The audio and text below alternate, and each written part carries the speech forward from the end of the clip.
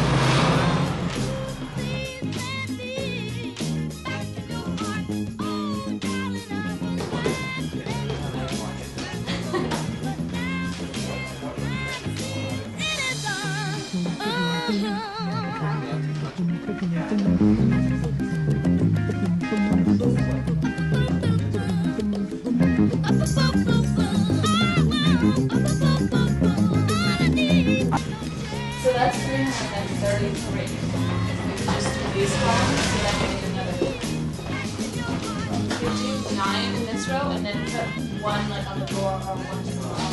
Like, I'll put one right there. so that's three. Oh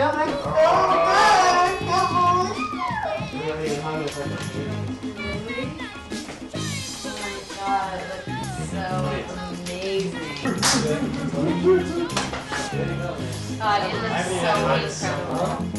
Did you do something? I did. To. Oh, I see here. Uh, one day I was riding in a cab and I got a cell phone call um, of an artist wanting me to see their work. I, I get many of these calls and it just, you know, usually say, well, send us something. But the artist's voice was so urgent at the time and the project was, uh, when he started talking about uh, communities doing a sewing project for the firemen, um, I became more interested. And then when I found out he was a few streets away, uh, my partner and I, Caroline Kerrigan, rushed over there, and we were thrilled about just what happened when the door opened. She came over. We were over here just sewing and making patches, and she came over and walked in the door and was just like, just freaked out. I just knew it was a project that needed to be seen by the population now and as part of their healing process.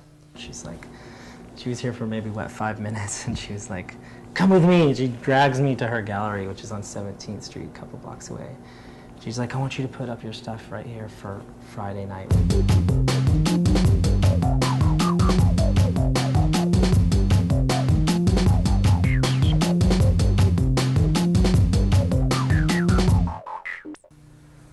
This is getting to be like a puzzle now. It's like, mm, getting funky.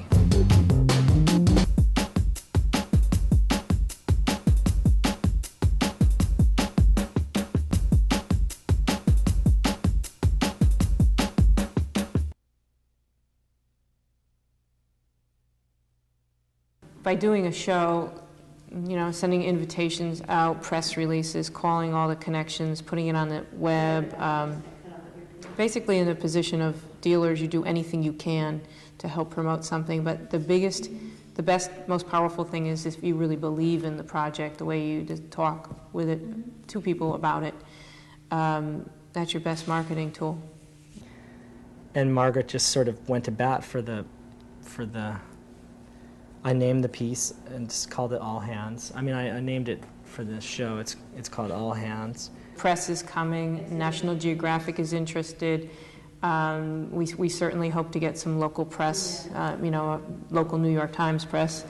Um, and I think that uh, of all the things being done artistically, this one's great because it brings in a lot of people to work on. It's not just one artist's vision. I left it up to people friends and individuals to decide how they wanted to, you know, decorate it. You know, some people. I feel like there was a lot of room for individual expression. You know, in your stitching, like just in in what color thread you chose to use, and I, and what was powerful is seeing all 343 patches on the wall, and every single one of them was different with different stitching, different colors, a, a, a different style, and and that that that in itself is incredibly powerful just to see the individual expression all come together into this one one expression which was which was great. Well the sewing circles that we held here and uh, and in other places around the city and then around the country we would talk about everything from you know our sex lives to uh, to um, just you know, de- just feelings dealing with the shock of, you know, witnessing 9-11 and, and experiencing the loss of, you know, my city being attacked and, and the loss of lives. You know, it, it, we were all over from just gossiping to, to getting really heavy about feelings about how scared we were, how, how sad we were, how angry we were, and, um, and just questions about where we were all headed, you know. All Hands was a, a great experience, you know, for that. Just, just. Uh, I mean, on so many levels, it was rewarding. The collaborative aspect of it was was eye opening as an artist, and it's not that it made it harder for me this last decade to make art by myself, but it it, it opened this door of like I want to do more like collaborative art projects and community art projects and public art projects using art bring bringing art to groups of people and you know, instilling that instinct to make things when when when life is gets intense or when life gets freaky or scary or you know depressing or you know using art making things is just something that I know in my life. It's something that I've always you know art art is something that I've always used as therapy you know that's why I make things is is to express that stuff inside me that I can't express with words you know so I'll make something whether it's a song or a painting or you know anything with my hands. I don't believe people when they say, "Oh, I'm not creative." You know, like I don't, I'm not a creative person. I feel like eh, to be human is to have creative impulses and desires. Whether you decide to bury them or not pay attention to them or or ignore them is is is your own thing. But for me, one of my personal missions is to, you know, to through my own art to show people that you know making things can be can be a way to save yourself. It's something I'm very interested in, and um, if I could say I had a mission, it would be that to to try to uh, awaken in people the urge to create. Be, whether it's just to make something for making something's sake, or the deeper you know level of make something to like help purify yourself and save yourself.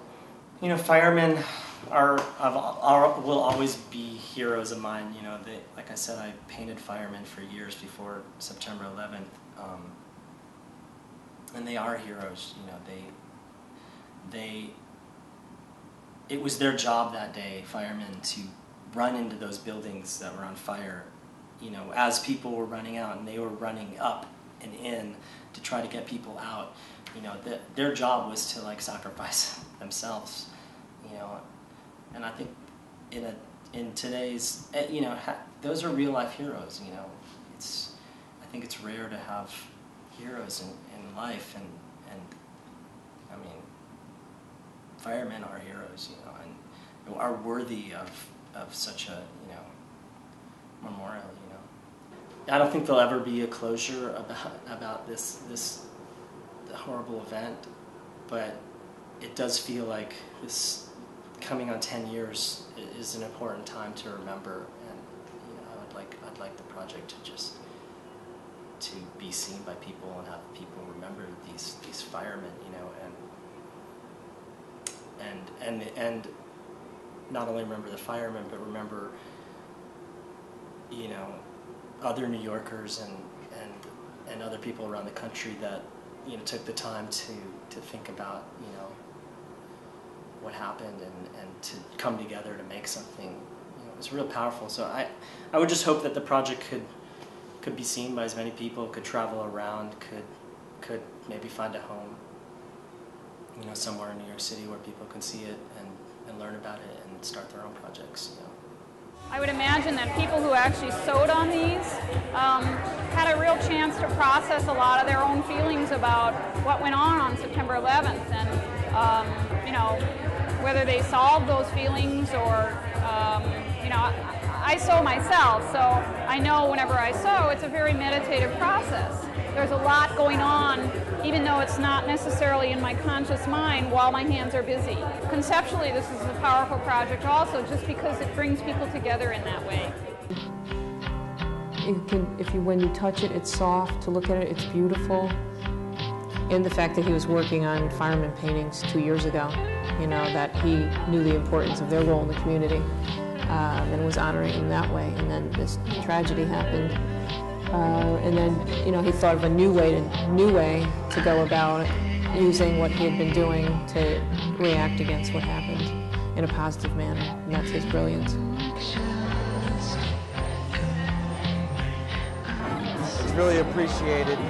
I know um, speak on behalf of everybody from the fire department that we want to thank everybody for all their contributions, all their love and uh, sincerity, and showing and displaying all this is, is really beautiful and, and uh, deeply appreciated. It's just a documentation of how much there are people there to help us if anything happens.